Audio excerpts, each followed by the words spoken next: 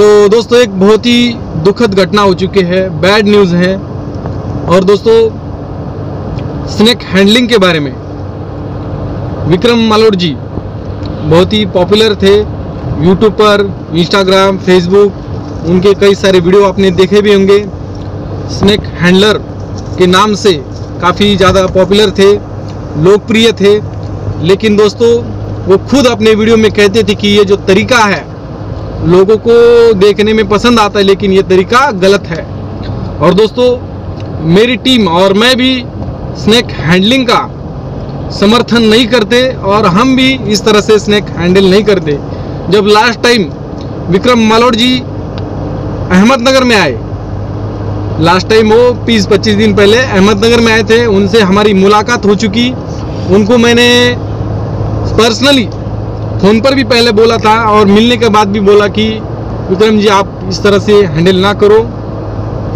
क्योंकि आजकल के युवा लोग, जो युवा लोग हैं, इस तरह स्नैक हैंडलिंग करने की कोशिश करते हैं और जिसके कारण स्नैक बाइट लोगों को होता है। लेकिन दोस्तों, उन्होंने मुझे जवाब दिया, जो वीडियो के ज़रिए वो हर वक्त देते हैं कि मैं स्टिक से टॉम से स्नैक को हैंडल नहीं कर पाता। मुझे बचपन से यही आदत है, लेकिन दोस्तों, उन्होंने खुद कहा था कि एक ना एक दिन मेरी मौत इसी में है और हो सकती है, ऐसा एक वीडियो में उन्होंने कहा था और ऐसा ही हुआ। जब वो नासिक आए, पहले वो तो महाराष्ट्र टूर के लिए आए थे। बीस पच्चीस दिन पहले उनके पापा जी भी साथ थे और उनके कई सारे दोस्त थे, रिश्तेदार भी थे और वो महाराष्ट्र घूमे।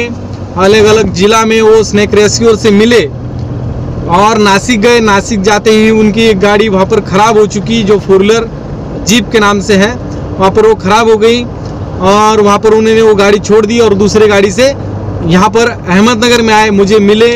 मेरे से उनसे बात हुई। इस बारे में स्नैक हैंडलिंग के बारे में मैंने बताया और फिर वो नांदेड़ चले गए।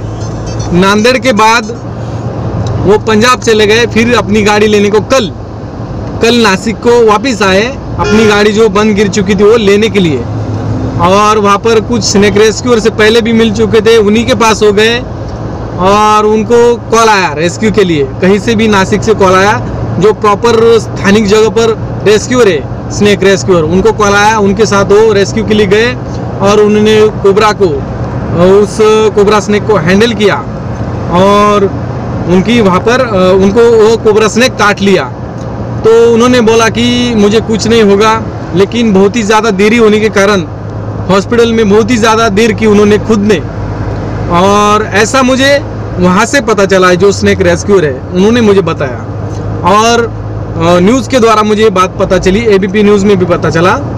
ऐसा हुआ कि वो हॉस्पिटल देरी हॉस्पिटल में जाने के लिए देरी की, इसलिए उनकी हॉस्पिटल में पहुँचने के बाद डॉक्टर ने डेथ घोषित कर दिया। और दोस्तों, काफ़ी दुखद घटना है ये, ऐसा नहीं होना चाहिए था। अपने महाराष्ट्र में ऐसा नहीं होना चाहिए था। वो, उनका तरीका बहुत ही गलत था। वो खुद खुद कहते थे कि मेरा स्नैक हैंडलिंग का तरीका बहुत ही गलत है, कोई कॉपी ना करे। लेकिन हम भी इस बात का समर्थन नहीं करते, हमारी टीम भी नहीं करती। और हम हर वीडियो में यही कहते कि बिना प्रशिक्षण प्राप्त किए बिना सांपों की जानकारी लिए, सांपों का हैंडलिंग ना करें, वरना एक ना एक दिन आपको ये जानलेवा होगा। और दोस्तों, वैसे तो विक्रम मालोट जी काफ़ी पॉपुलर है, आपको पता ही चल, चला होगा, आपने वीडियो देखे भी होंगे। चाहे वो किसी तरह स्नैक हैंडलिंग करते हो। लेकिन दोस्तों, मैं एक दिल से बात बोलता हूँ, वो दिल का बहुत ही अच्छा इंसान था, बहुत ही अच्छा इंसान था। उनके साथ अगर पाँच मिनट अगर किसी ने बात किया तो उनका बन जाता था दोस्त। इतने वो अच्छे थे बात करने में, और उनका स्वभाव भी बहुत अच्छा था। लेकिन बस गलत ये था कि उनका हैंडलिंग का तरीका, जो कि बहुत ही वो खुद बताते कि गलत गलत है। हमने भी कई बार उनको बताया कि ऐसा ना करे हैंडलिंग दोस्तों, बहुत ही दुखद घटना है। कल कल ये घटना हो चुकी नासिक में। अभी मैं अहमदनगर में हूँ, यहाँ से अभी नासिक निकला हूँ। हमारी टीम के साथ, हमारे साथ आज संतोष करपे, हमारी टीम के मेंबर, सभी मेंबर यहाँ पर है। अतुल पाखरे, नवाज़ शेख, सिराज सैयद, नीलेश साड़वे ऋषिकेश यादव और दोस्तों, हमारे कुछ रेस्क्यूअर वहीं पर है अहमदनगर में। अगर स्नेक रेस्क्यू के लिए कॉल आता है तो अटेंड करेंगे। सुबह से बहुत सारे कॉल आए कि जो घटना हो चुकी है, जियो विक्रम मालट जी को बाइट हुआ और उनकी डेथ हो गई, ये सही है या गलत है, या न्यूज़ वाले ऐसे ही दिखा रहे हैं। इसके बारे में मुझे बहुत सारे कॉल आ रहे हैं। सुबह से लगभग हज़ार से भी ज़्यादा मुझे कॉल आए। अटेंड नहीं कर पा रहा हूँ। कॉल पर कॉल कॉल पर कॉल आ रहे इसलिए मैंने अपना मोबाइल एक स्विच ऑफ़ कर दिया है। और दोस्तों, मैं मुझे भी ज़्यादा जानकारी मालूम नहीं इस बारे में। मुझे एबीपी न्यूज़ के द्वारा पता चला, शाम टीवी के द्वारा पता चला और कुछ रेस्क्यूअर ने थोड़ा बहुत जानकारी दिया। और इसलिए मैं सही जानकारी लेने के लिए यहाँ से अहमदनगर से नासिक निकला हूँ और नासिक जाने के बाद छानबीन करूँगा, वहाँ पर क्या हुआ था और किस किस तरह उनको बाइट हुआ और उनकी डेथ किस कारण हो चुकी हॉस्पिटल लेट जाने के कारण हो चुकी या या फिर हॉस्पिटल भी वो गए नहीं।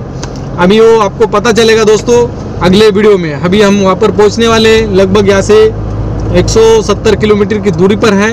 हमें जाने के लिए चार पाँच घंटे तो लगने वाले हैं। दोस्तों, अगला अपडेट देखते रहिए।